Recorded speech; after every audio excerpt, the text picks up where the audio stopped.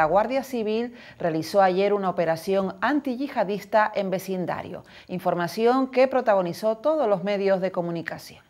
Todo respondió a la detención de un hombre de origen palestino en el aeropuerto de Madrid que intentaba viajar a Siria para enrolarse en las filas del Daesh, según informó este domingo el Ministerio del Interior. El hombre vivía en vecindario y a su domicilio acudieron agentes de la Jefatura de Información del Instituto Armado y de la Comandancia de Canarias para efectuar un registro de acuerdo con el juzgado número 5 de la Audiencia Nacional. Un equipo de asalto de la Benemérita accedió por la mañana a una vivienda situada en el número 16 de la calle Tinajo. La Guardia Civil mantenía abierta desde 2014 una investigación sobre esta persona en relación con sus actividades a favor del Estado Islámico y comprobó cómo el detenido había experimentado un proceso de radicalización a través del consumo reiterado de propaganda de este grupo terrorista. De hecho, el pasado mes de julio, el detenido realizó un viaje a Turquía, donde fue detenido por las autoridades turcas en las proximidades de la frontera con Siria y devuelto a España.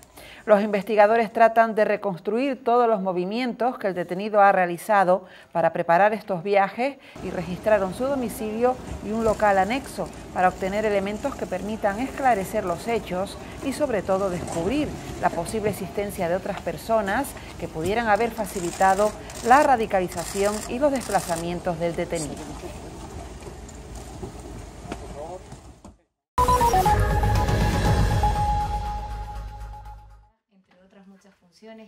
La comunidad palestina en Canarias y la Asociación por la Paz y Acción Solidaria con Palestina organizaron una conferencia en la sala Nelson Mandela de vecindario que contó con la presencia de Mahed Disi, presidente de la comunidad hispano-palestina de Madrid y de la Asociación de Periodistas y Escritores Palestinos de España y Portugal.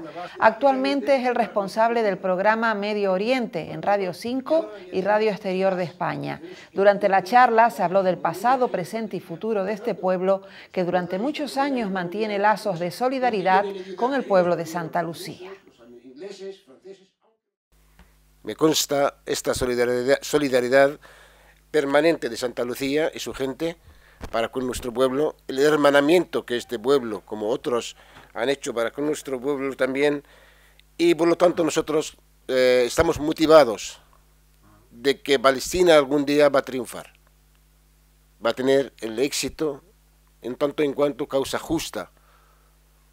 No diría la más justa, porque todas las causas que defienden una justicia son justas, pero una de las causas más complicadas y más largas, más viejas en el contexto internacional actual.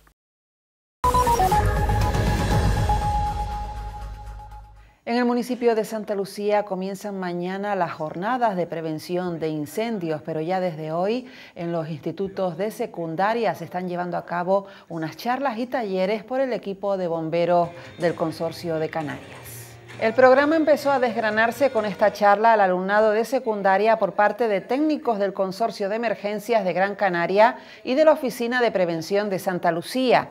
Mañana la Policía Local del municipio serán los destinatarios de una acción formativa llamada Principios Básicos de Actuación y Coordinación en Incendios Urbanos y los escolares de la obra de teatro Bomberita, la gota que apaga fuegos, que se va a celebrar en el Teatro Víctor Jara, y de una muestra de los servicios de prevención y extinción de incendios y de talleres de primeros auxilios.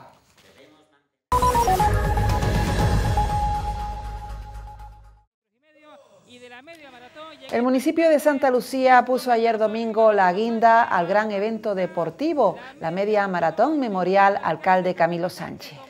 Rubén Palomeque Barrera y Aroa Merino Betancor resultaron ganadores de la Gran Canaria Media Maratón Memorial Alcalde Camilo Sánchez. El buen tiempo acompañó la mayor parte del recorrido de la carrera solidaria que este año celebró su décima edición y que supone la previa a la Gran Canaria Maratón que se va a celebrar el próximo 22 de enero.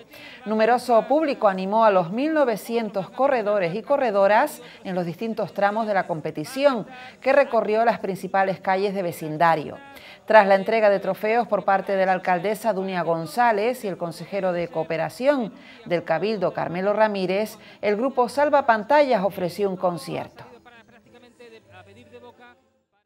cada año nos hacemos más expertos y expertas en montar esta media maratón y como ven cada año pues mejora la calidad de la misma y bueno, ya ahora solo resta felicitar, felicitar a todos y todos los que han participado, no solo a los ganadores, sino también a quienes han participado, a quienes cada año hacen de esta carrera, de esta media maratón, pues un espectáculo, un evento deportivo y solidario muchísimo más grande que el año anterior. Así que felicitarles y agradecerles a todas las personas que han colaborado en que esto sea posible y salga de esta manera. Lo de ayer solo fue el broche de oro a tres días intensos de actividades. Unas 3.500 personas se inscribieron en las distintas pruebas que se vinieron celebrando desde el pasado viernes. El programa se inició con la gran caminata y la fiesta de la fruta en la Plaza de los Algodoneros, que despidió la velada con un concierto.